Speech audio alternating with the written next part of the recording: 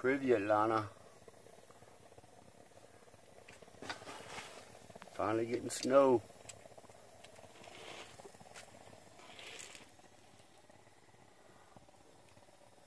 Lots of it.